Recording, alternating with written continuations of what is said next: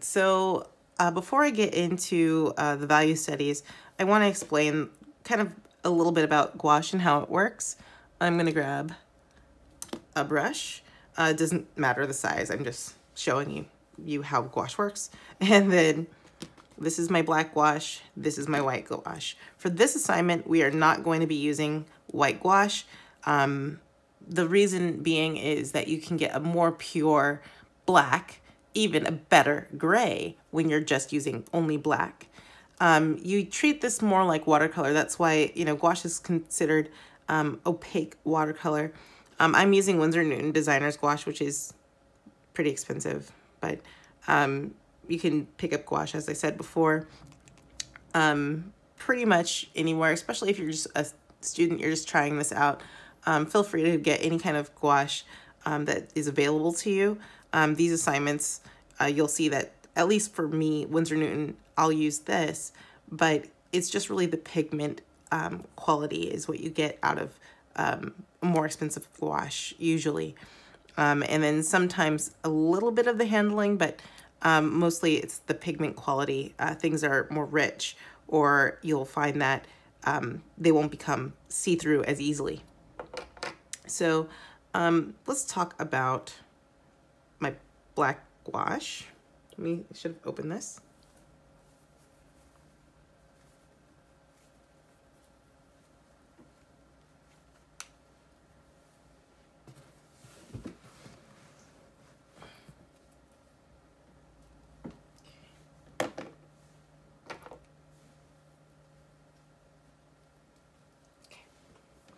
Alrighty, so I'm going to uh, talk a little bit about the black gouache and how you'll use it for the assignment. And then the reason why we're not using white gouache in this. So put that over to the side for now. Um, for black gouache, why we're using it like this, oh, um, you can do a couple things. Um, if you happen to have a top or a mixing palette, I have like a chicken, oh, this is a gorgonzola cheese type of top, you can go ahead and use this. Uh, you can also use like a paper towel, another spare piece of paper. Um, it just depends on if you are going to reactivate your gouache again. Um, with gouache, just like watercolor, um, you can reactivate it with water. The only bad part is if you're trying to make something opaque, you won't be able to kind of get the same goopy mess um, like before. You'll never get that fresh out of the tube kind of quality out of it. Um, so it just depends. Um, I really like using it directly out of the tube for really, really dark blacks. Um, and then um, if, you know, I was just doing kind of a tonal study, it would be probably be fine to reactivate it. Let me just put a little bit of white onto this too, so I don't have to worry about it. But um, if it comes in tubes, that's what I recommend to get the ones that come in tubes so you can get those really um, right out of the box, like most crazy opaque kind of colors. Um, let me try and draw a circle. All right, that's like not a bad circle. But let's talk about light sources and kind of what we're doing here with this gouache. So with light sources, um, you might have known this in a different kind of class.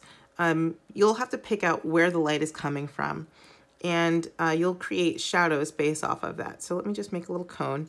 This is my what my shorthand for like the light situation. Um, and you'll see if I kind of bring this down. Um, if this was a, a actual sphere, um, it's probably going to be lit something like this.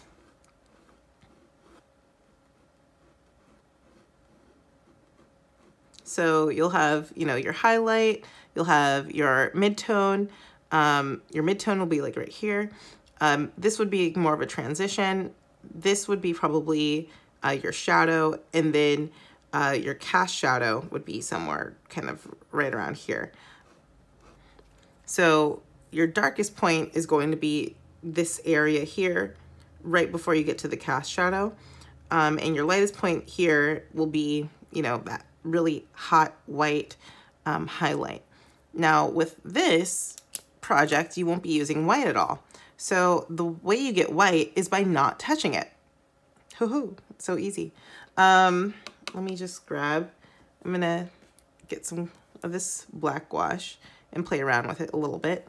So I just wet my brush a little bit. You'll have to probably test this out. I would highly recommend, even if you like use gouache regularly, um, at least for me, I like to test it out every time just on a separate piece of paper to make sure it's the color that I want it to.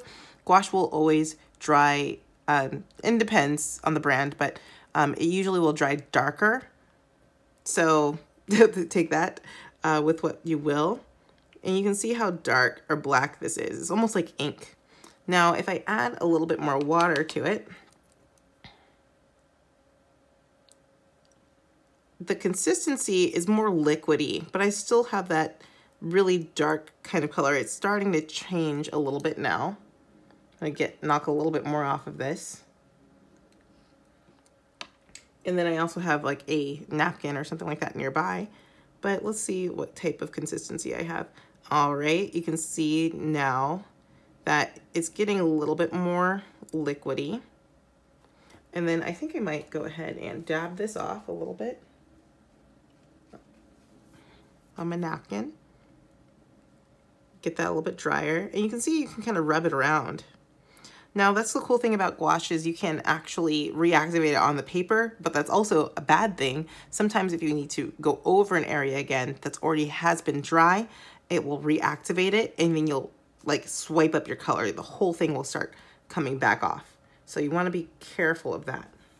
I'm gonna just wet my brush some more see if I can get another tonal change out of it and pull it out. It's a lot of water, Carol. So I'm gonna take my little piece of paper. I'm gonna dab it a little bit. Just dab it up. And then that's actually what I do a lot. You can easily do that. And then you can kind of see how it can gray out for you. By just adding more and more and more water, okay? All right. So depending on if you do something like this, maybe you're just testing out the colors, um, you might want to uh, figure out what that amount of water is gonna look like when you get to your ball. If you wanna do a, a test ball uh, to figure out your midtones and things. So this is a little bit dark. So I'm gonna bring that all the way down. And notice that I just really lightly went into this. I'm feeling good with this, I like that.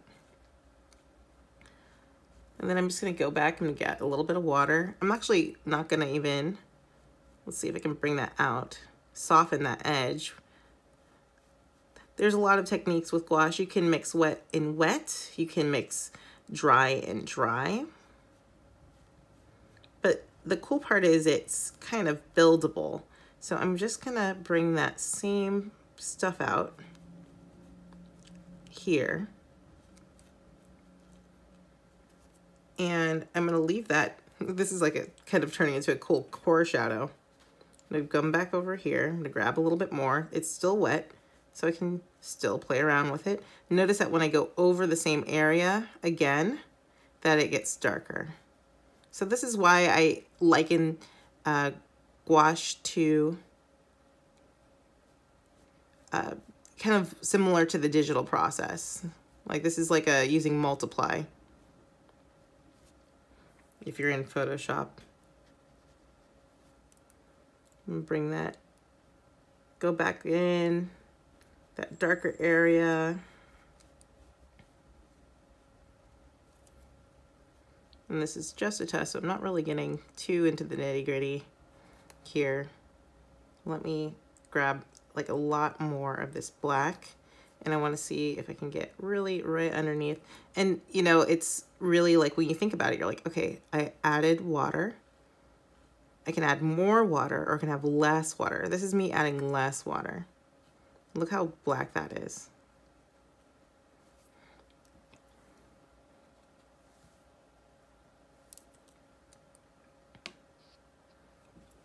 Now you can use multiple brushes. Like uh, sometimes I'll use like a completely clean one go back over.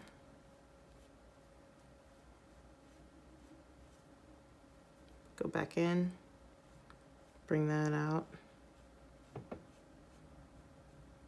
Got to be careful not to, I feel like this mixed media paper is coming up a little bit for me. I'm, I might just go back to using that. This is like a new one for me, but um, I might go back to using my manga paper. It's, you know, relatively cheap. Just grab a little bit of water, bring that out.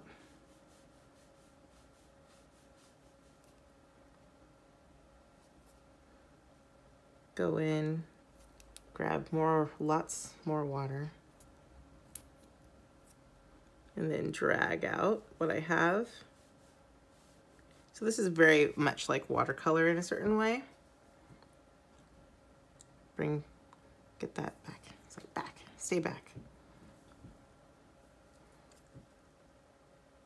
And then I can just go back over some of these lines and then make them not as crispy because that was more of a drier brush. And I can just go ahead and add a little wee bit water to them to fill in those gaps.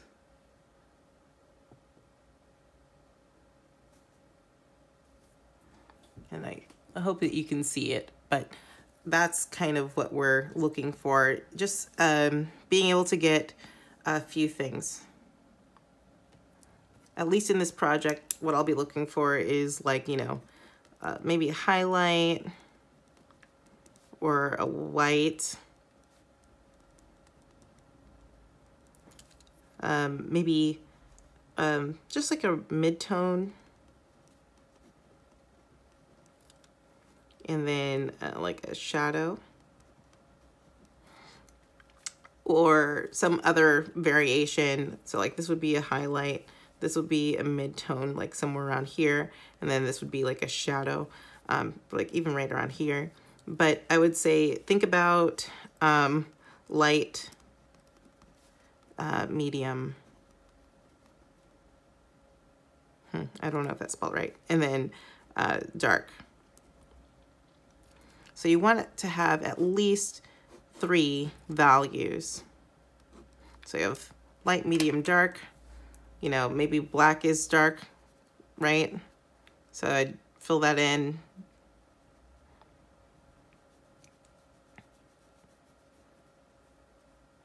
But in doing this, you're getting kind of um, the idea of using the gouache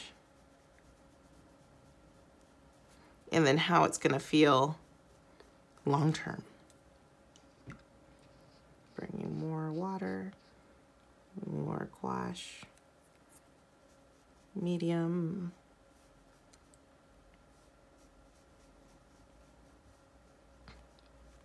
That midtone could probably be darker. I don't know. You can go in between too. Let me just pat this a little bit. Hopefully it won't come up. It's gonna. I feel like it's gonna. All right, it didn't. Great. So that's what I'm thinking, like light, medium, and dark, and that is not using white, right? So don't use white for your like actual lights. Just leave it the paper color. Okay, so let's talk about if you were to use white, why am I asking you not to use white? All right, here it goes. So I'm gonna take on my palette the black and then I'm gonna just go into the white. Notice that it's making it gray, but it's like really like a cool gray. Also, um, the components of it, it's like really chalky looking. Um, this is why I don't want you to use gray. It just becomes really muddy or, or um, it just becomes a color in itself, uh, to be honest with you. So uh, please do not use gray uh, for this assignment. Notice that I can tell when you're using the white, I believe the white is, um, yeah, zinc white. And, um, or your white most likely has zinc in it, um, even if it doesn't say that. And a lot of times it will make it completely opaque. So think about like adding white out to your paint. That's exactly what you're kind of doing um, when you're adding this white. Uh, when you can achieve a really more pure gray color than some of these. Uh, these, you can see how it's drying down. It's drying down darker, um, which is a little bit more deceiving than using just the plain black. So that's why um, please do not use white for this assignment. Just uh, use the black gouache. Um, another thing is please try this out if you'd like to on your own. Uh, not an assignment, but it might just help you before you get into the next thing so you're not super surprised.